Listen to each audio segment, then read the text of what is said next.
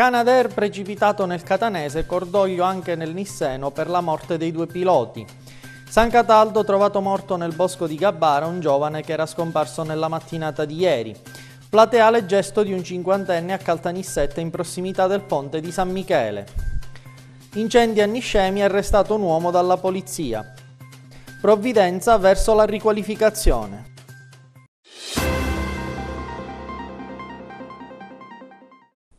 Bentrovati con il nostro telegiornale. In apertura la tragedia del Canadair precipitato nel Catanese, cordoglio anche nel Nisseno per la scomparsa dei due piloti. La tragedia a Lingua Glossa in provincia di Catania, costata la vita a due piloti. Un volo decollato dalla Mezzia Terme che doveva essere un intervento di routine, come ce ne sono stati tanti in centinaia durante il periodo estivo.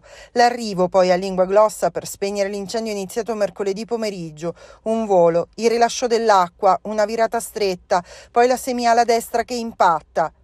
Particolarmente sentita la vicenda anche nel Nisseno dove sono molti gli operatori del mondo dell'antincendio che operano sul nostro territorio e che quindi si spendono per operazioni di salvaguardia del territorio stesso e delle persone, ancor più nella stagione estiva. E mentre è stata annunciata l'inchiesta della Procura della Repubblica, i carabinieri hanno già fatto i rilievi, arriva anche il messaggio di cordoglio del presidente della regione Schifani. Esprimo profondo cordoglio per la morte dei due piloti impegnati insieme ai nostri uomini e donne del Corpo Forestale della Regione e della Protezione Civile in attività di prevenzione e spegnimento incendi sull'Etna. Sono vicino alle famiglie e ai colleghi di lavoro colpiti da questa tragedia. San Cataldo trovato morto nel bosco di Gabbara, il giovane scomparso ieri mattina. È stato trovato senza vita nel bosco di Gabbara il giovane sancataldese di 34 anni del quale si erano perse le tracce fin da ieri mattina. A lanciare l'allarme erano stati i familiari nel pomeriggio di giovedì, preoccupati nel non averlo visto rincasare dopo parecchie ore. Una volta chiamato il 112 sono stati i carabinieri a iniziare le ricerche, setacciando le vie di San Cataldo e i dintorni, fino alla tragica scoperta delle scorse ore. Numerosi messaggi di cordoglio sui social network, sulle bacheche di alcuni gruppi di cittadini sancataldesi e anche sul profilo Facebook del 34enne. Adesso saranno gli accertamenti dei carabinieri a ricostruire le ultime ore dello sfortunato giovane e a stabilire la causa precisa del decesso. Plateale gesto di un cinquantenne a Caltanissetta che ha minacciato di buttarsi dal ponte di San Michele, al centro la questione dell'antenna RAI, il servizio. Momenti di tensione questa mattina sul ponte di via Fragiarratana che sovrasta via Sallemi nei pressi della chiesa di San Michele. Un operatore ecologico di 53 anni ha dato il via a quella che a suo dire era un'azione dimostrativa in favore dell'antenna RAI. L'uomo, che non è nuovo a iniziative forti e che in passato si era già fatto sentire sulla questione antenna, aveva richiamato l'attenzione di passanti automobilisti minacciando di gettarsi dal ponte se non gli fosse stato permesso di incontrare il questore o altri rappresentanti delle autorità, proprio per parlare dell'antenna. Immediatamente è scattato l'allarme e sul posto sono arrivati polizia, carabinieri e anche i vigili del fuoco, i quali hanno subito approntato il cuscino gonfiabile nel caso l'uomo avesse realmente messo in atto il suo proposito. Le forze dell'ordine hanno cercato di far desistere il 53enne dal suo proposito e alla fine i poliziotti sono riusciti a bloccarlo e a ricondurlo alla ragione. L'operatore ecologico è stato quindi accompagnato in questura per essere identificato e per gli accertamenti di rito. Sull'antenna RAI negli ultimi tempi si è creato un vero e proprio dibattito tra chi vorrebbe valorizzare la struttura, ormai spenta, che sorge sulla collina di Sant'Anna, e tra chi ritiene che andrebbe demolita. Ma era difficile pensare che si arrivasse anche ad assistere a un'azione dimostrativa del genere. Un quarantenne di Inscemi è stato arrestato con l'accusa di aver incendiato alcune auto, i particolari. Un niscemese di 40 anni è stato arrestato e condotto agli arresti domiciliari dai poliziotti del commissariato di Niscemi, in quanto accusato di aver incendiato un'auto in attesa di riparazione parcheggiata nel piazzale della stazione ferroviaria. Era il 10 giugno scorso. Secondo quanto ricostruito finora dagli inquirenti, le fiamme si erano propagate investendo altri tre veicoli parcheggiati nelle vicinanze e quindi il rogo assunse proporzioni maggiori. Sulle prime non era stato possibile individuare il responsabile, ma dopo diversi mesi di accertamenti gli investigatori hanno trovato il bandolo della matassa. Decisive anche le riprese effettuate dalle telecamere di sorveglianza posizionate nella zona dell'accaduto e anche nelle vicinanze. Una volta raccolti quanti più elementi possibili, la Procura ha chiesto al GIP del Tribunale di Gela di disporre un provvedimento cautelare che è stato eseguito dalla Polizia. Urgono interventi a Santa Barbara la segnalazione di Salvatore Licata del movimento Orgoglio Nisseno. Erbacce miste rifiuti per lo più bottiglie di plastica e qualche lattina circondano il perimetro e non solo delle zone dove sono stati installati inizio anno scivoli altalene nel villaggio di Santa Barbara, giochi che a distanza soltanto di qualche mese si presentano in alcuni punti già rovinati ed in certi casi pericolosi e con qualche scritta qua e là. Si rende pertanto necessaria una urgentissima messa in sicurezza di tale area attrezzata a garanzia degli abitanti del villaggio, scrive in una nota Orgoglio Nisseno, in attesa che la stessa sia oggetto di più importanti risolutivi interventi di riqualificazione urbana. Orgoglio Nisseno ha ritenuto di intervenire eh, relativamente appunto alla villetta di Santa Barbara dopo averlo fatto per altri centri di aggregazione sociale della città di Caltanissetta e soprattutto delle periferie di Caltanissetta perché eh, Santa Barbara rappresenta la periferia delle periferie, in quanto tale è eh, un villaggio, quindi è lontana dal centro abitato alcuni chilometri, pertanto ritengo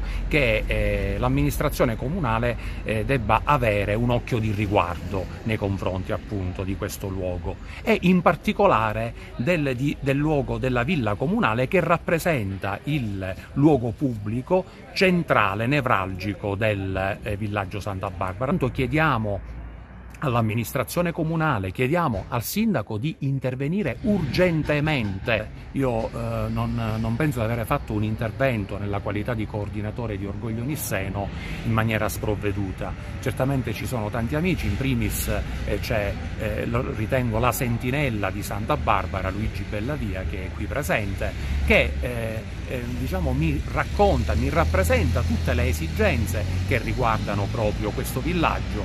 Non sfuggirà anche come sono tenute le strade, come sono i marciapiedi, spesso impraticabili e eh, soprattutto appunto questo il movimento infatti in passato aveva anche acceso i riflettori sulle condizioni di un campetto nel quartiere Balate Pinzelli, ristrutturato da poco più di un anno dal comune, si legge ma chiuso ed inutilizzato nonostante l'assenza in quella parte della città di luoghi di aggregazione sociale. Il, eh, il sindaco, prima ancora di dare riscontro a Orgoglio Nisseno, non l'ha mai fatto, eh, questo lo devo, eh, lo devo eh, sottolineare.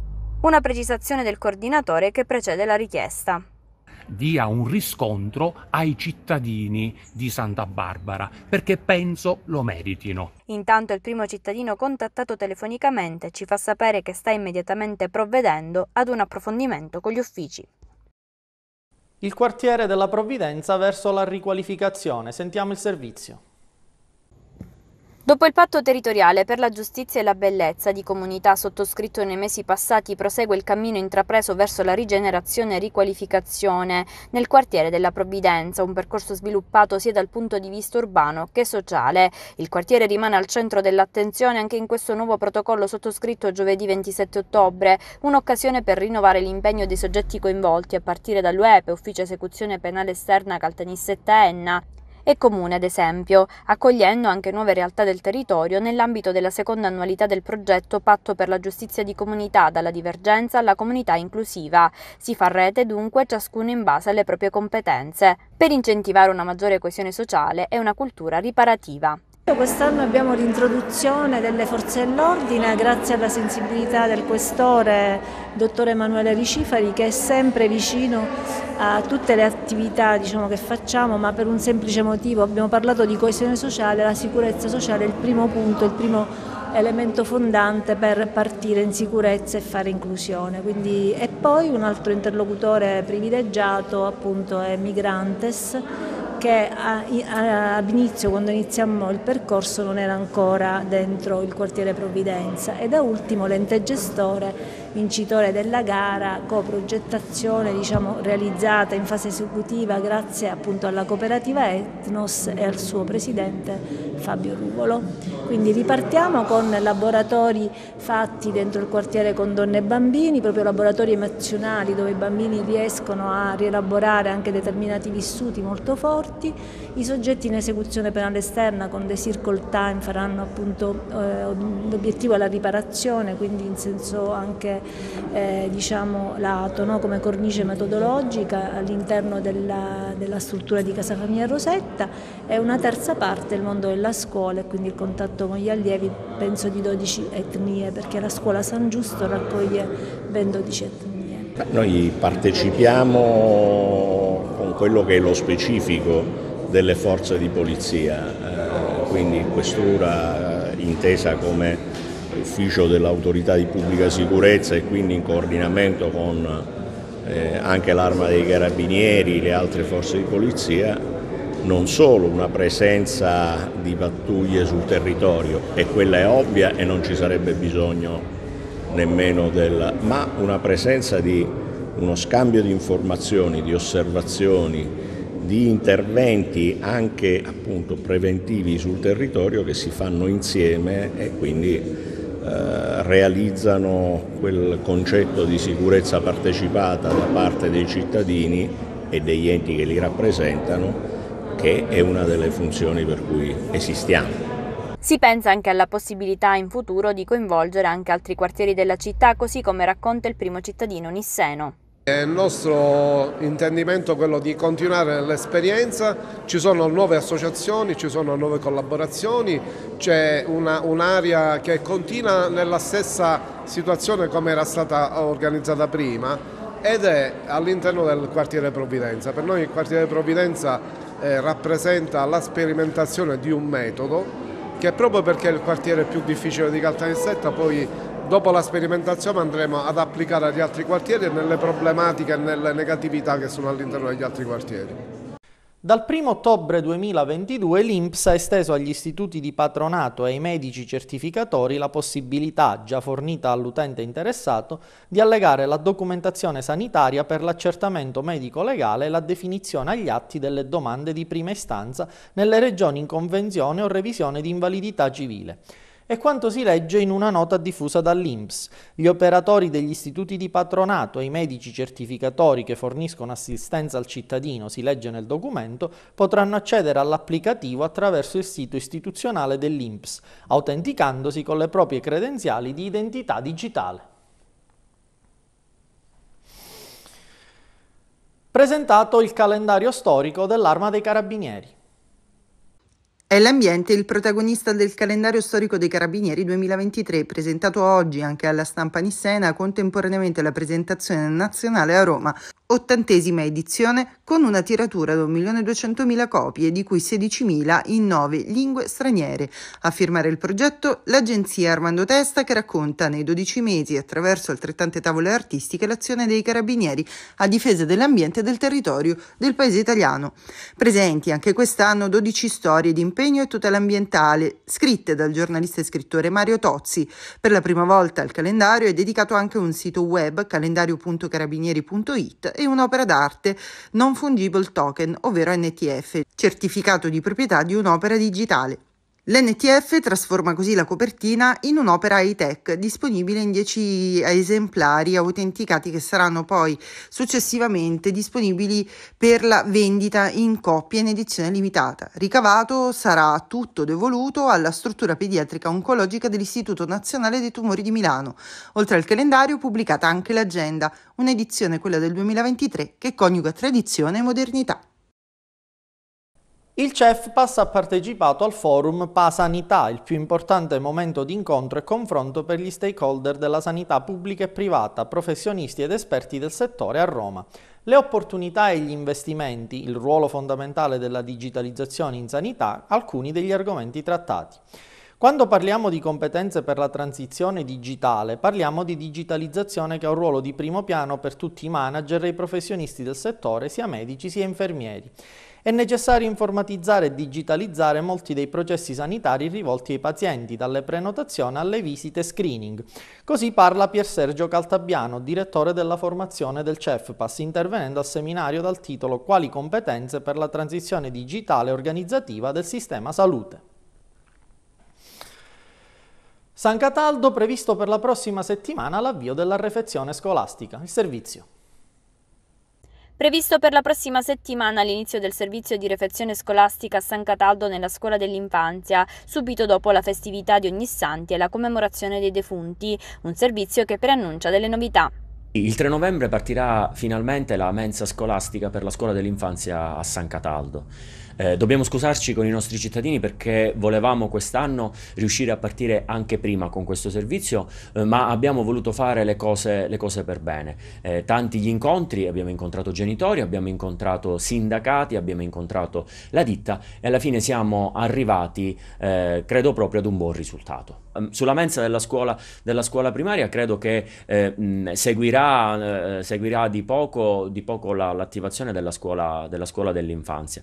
Questo perché ovviamente si stanno attendendo gli opportuni, eh, gli opportuni adempimenti da parte della scuola e della ditta. E sulla refezione scolastica interviene anche il sindacato Comsal Snalv. La scorsa settimana infatti a seguito di un incontro presso l'aula consiliare del comune San Cataldese tra le parti interessate aveva espresso la propria soddisfazione anche il segretario territoriale Agrigento Caltanissette Denna Manuel Bonaffini, soprattutto per quanto riguarda l'aumento delle ore per le lavoratrici. Sono state raddoppiate le ore a tutte le lavoratrici che passano da un'ora e mezza a tre ore Abbiamo avuto l'incontro sia con l'amministrazione che con le lavoratrici e la nuova ditta che andrà a gestire il servizio. C'è stata una riorganizzazione generale anche perché abbiamo la scuola della Lambruschini che è aperta come scuola ma la cucina è chiusa, quindi è in fase di ristrutturazione, quindi per quest'anno non verrà utilizzata.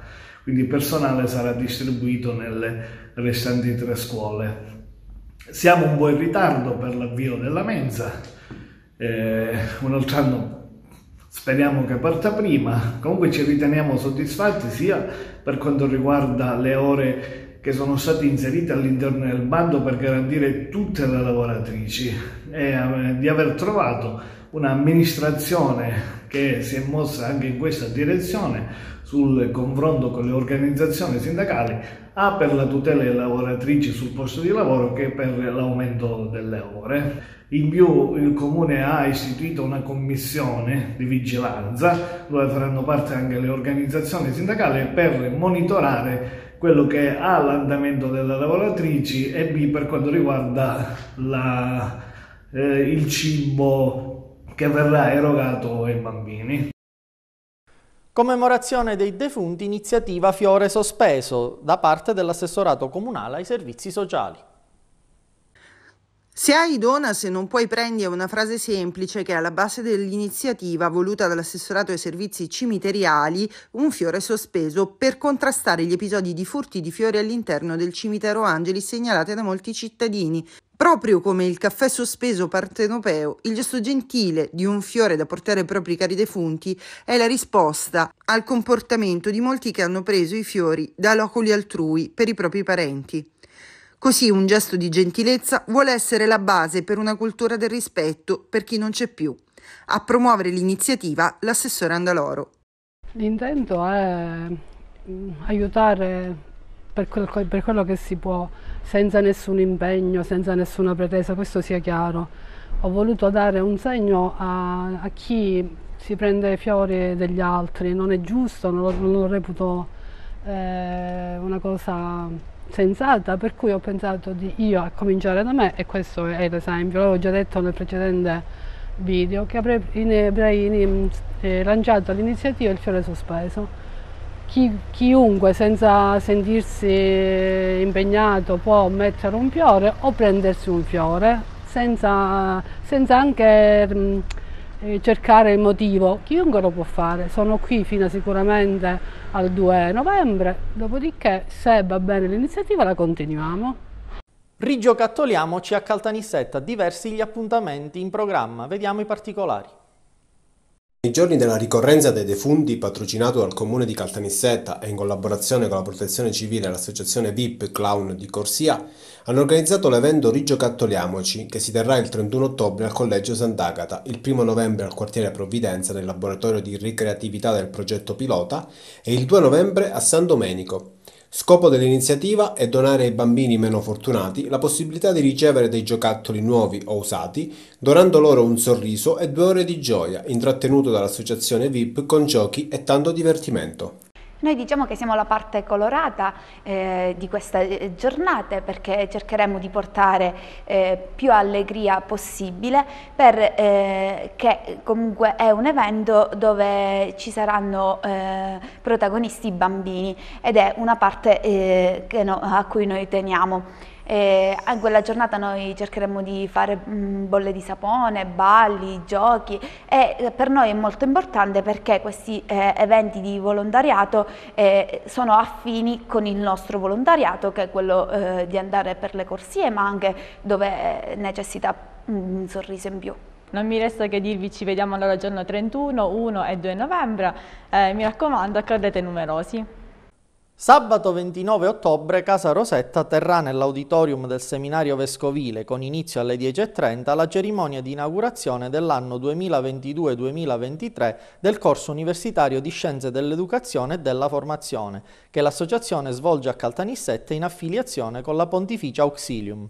L'argomento scelto per la prolusione è la scuola e la formazione, un asset strategico irrinunciabile di qualsiasi percorso di sviluppo e ne sarà relatore il professore Maurizio Caserta, ordinario di economia dell'Università di Catania. La prolusione sarà preceduta da brevi indirizzi di saluto della preside dell'Auxilium Suor Piera Ruffinatto e del presidente di Casa Rosetta Giorgio De Cristoforo. A scuola di archeologia all'Istituto Caponnetto per conoscere e tutelare il patrimonio culturale della Sicilia centrale. Anche quest'anno l'Istituto Comprensivo Antonino Caponnetto di Caltanissetta ha avviato il progetto a scuola di archeologia Conosciamo e tuteliamo il patrimonio culturale della Sicilia centrale. Iniziato lo scorso 25 ottobre, si svolgerà nel corso dell'intero anno scolastico, portando l'archeologia a scuola e già lo scorso anno lo stesso progetto ha suscitato grande interesse da parte degli studenti e delle studentesse che hanno partecipato. Il progetto nasce in collaborazione con la sede Nissena di Sicilia Antica, presieduta da Stefania D'Angelo, con il PA Parco Archeologico di Gela diretto da Luigi Maria Gattuso, con il Parco Archeologico di Morgantina e della Villa del Casale di Piazza Armerina diretto da Liborio Calascibetta, con il Comitato di Quartiere Gibil Habib, presieduto da Salvatore Pecoraro, con il Nucleo Tutela Patrimonio Culturale dei Carabinieri di Palermo, grazie alla disponibilità del comandante il maggiore Gianluigi Marmora.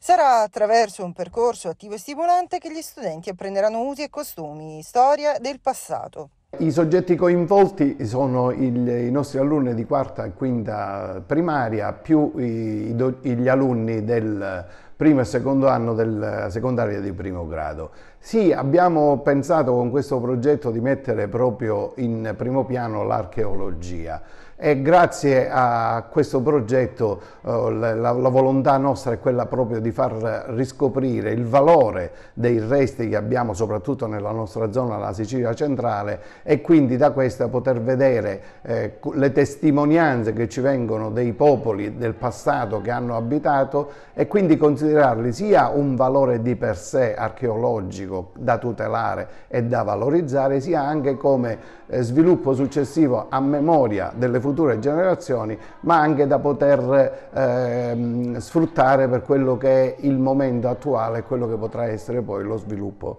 successivo. E come direbbe Flaminia Cruciani Lezioni di immortalità, se il lavoro del poeta è scuotere il cielo aspettando che qualche frammento cada, il lavoro dell'archeologo è scuotere la terra, senza imbarazzo del cosmo, aspettando che qualche frammento di cielo appaia.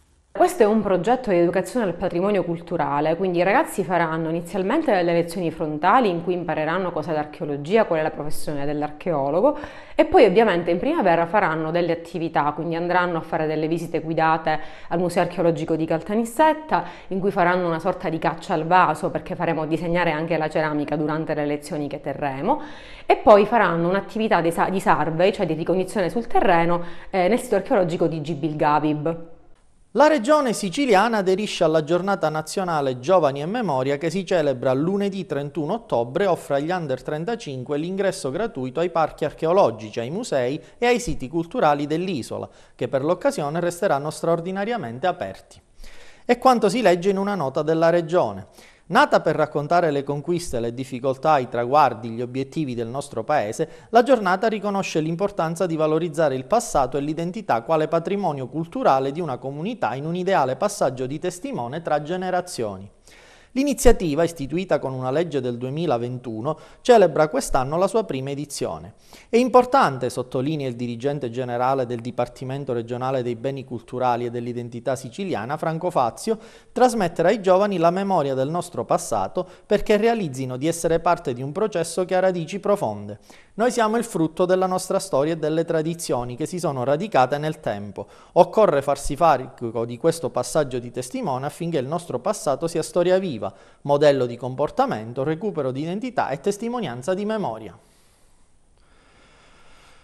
Caltanissetta, Rosso in piazza, le iniziative teatrali con Aldo Rapè.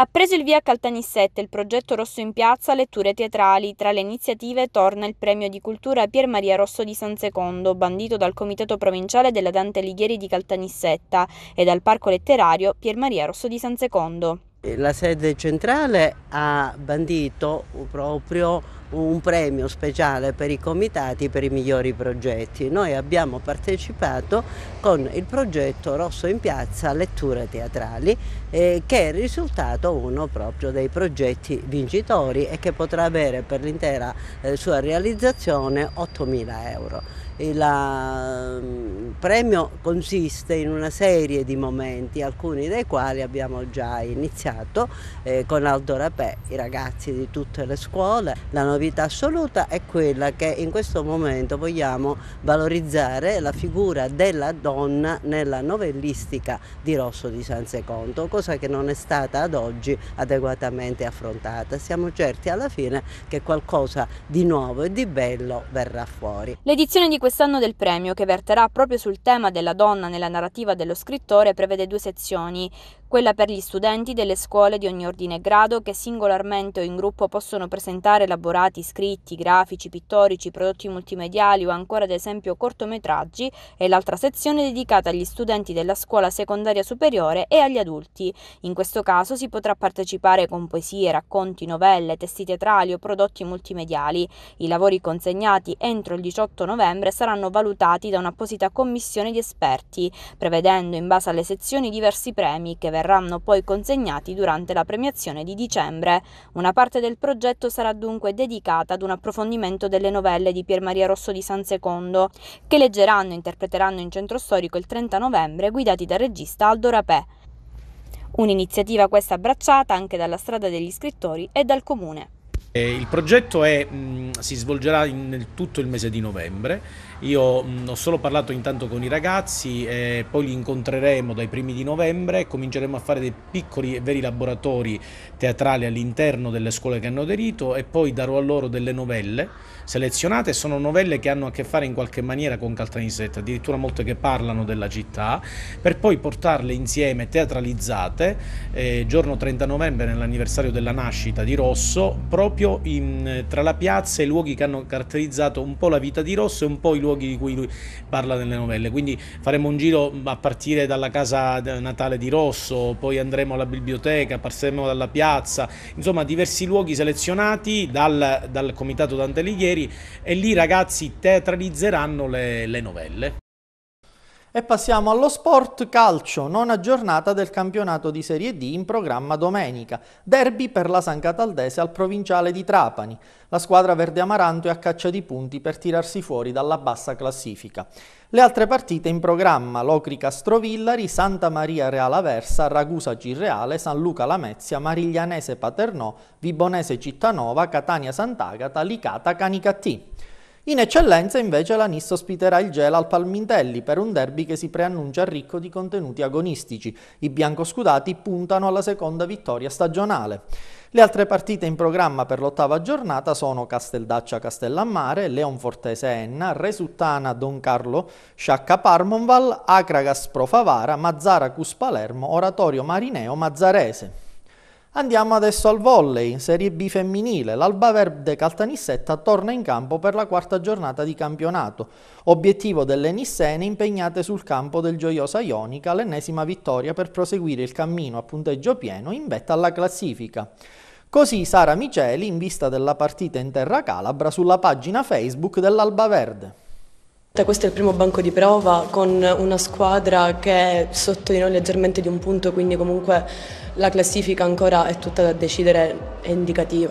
Comunque io penso che bisogna affrontare partita dopo partita con il giusto atteggiamento grintoso, senza dare nulla per scontato, palla dopo palla, poi il resto verrà da sé. Ovviamente le prime partite sono state partite che abbiamo affrontato con il giusto atteggiamento e che hanno dato i loro frutti, quindi speriamo sempre di essere al top anche in questa e nelle prossime appunto pure più difficili e di dare il meglio. Il nostro obiettivo è di migliorarci azione dopo azione, non ci interessa il, il resto. Le altre partite in programma sono Fidelis Torretta, Stefanetta Planet Cuscatania, Comiso Valley, Alus Crotone, Saracene Ricina, Region Reggio Calabria Zafferana. Restiamo con lo sport domenica di kickboxing al Pala Cannizzaro con inizio fissato alle 19. Il servizio.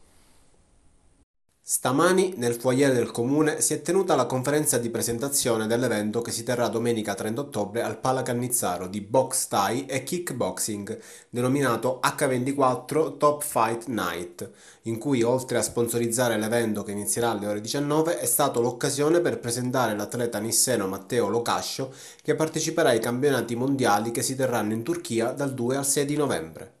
Scopo dell'evento è portare avanti il progetto che Calogero Palmeri ed Elisa Iannello stanno portando avanti a Caltanissetta ed è quello di unire la passione per questo sport alla sana nutrizione, elemento fondamentale per tutti gli sportivi. Eh, Muay Thai, Kyokushinkai e K1 eh, sono le tre discipline che andranno diciamo, in, in, scena questo, questa domenica al, al Palacannizzaro che torna di nuovo a essere vetrina di un evento spettacolare, oltre chiaramente a, diciamo, a, delle, a distribuire delle, delle, delle cinture. Finalmente questo evento che riporta le arti marziali qui a Caltanissetta e gli sport da ring. Eh, oggi presenteremo anche, eh, oltre a, alla giornata che ci sarà domenica al Palacannizzaro, eh, dove saranno coinvolte diverse società della Sicilia e anche società che verranno da altre regioni d'Italia, e presenteremo anche il, eh, il, nostro atleta Matteo Locascio che sarà eh, ai mondiali in Turchia, quindi non sarà con noi il giorno 30 perché è stato convocato appunto dalla nazionale dopo aver vinto i campionati italiani e quindi siamo qui a presentarvi questa fantastica notizia e questo spettacolo che ci sarà domenica eh, giorno 30. L'evento mira a prendere in considerazione il progetto lavorativo che stiamo portando avanti a Caltanissetta e non solo perché lavoriamo in tutta Italia ed è quello di unire lo sport alla sana nutrizione e quindi dare la possibilità agli atleti e ai ragazzi come me di vivere della propria passione. Sarò orgogliosissima di partecipare all'evento anche come atleta, quindi gareggiare a casa è sempre un'emozione, per me sarà la prima volta tra l'altro che gareggio in casa mia e quindi vi aspetto tutti il giorno 30 ottobre. Bene, per questa edizione è tutto, vi ringraziamo per essere stati con noi, vi lascio al meteo e alle notizie di pubblica utilità. Appuntamento rinnovato alle prossime edizioni.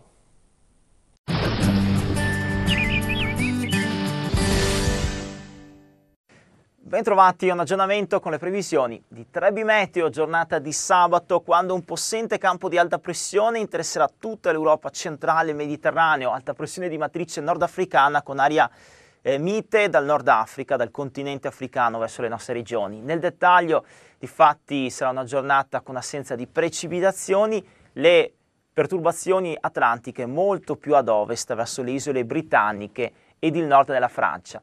Dettagli quindi per la giornata di sabato, quando possiamo notare su tutto lo stivale sole protagonista, solo di notte locali nebbie e foschie dense in pianura padana e sulle vallate appenniniche.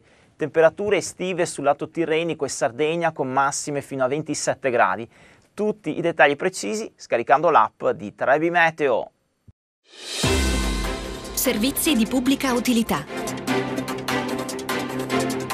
Farmacie di turno, Caltanissetta. Servizio diurno, Buonasera, via Edmondo De Amicis. Servizio notturno, Pasqualino, via Xiboli, villaggio Santa Barbara.